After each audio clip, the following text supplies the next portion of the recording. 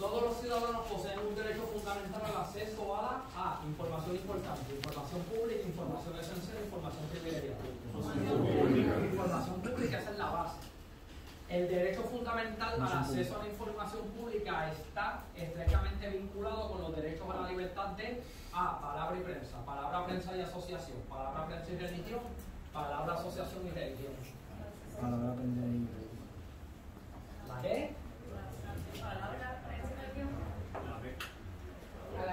prensa y Asociación. Palabra, asociación. Que son los que están vin- vinculados con el derecho a usted expresarse. Esa es la clave. Usted, son esos derechos que usted está para poder expresarse. Prensa, palabra y asociación.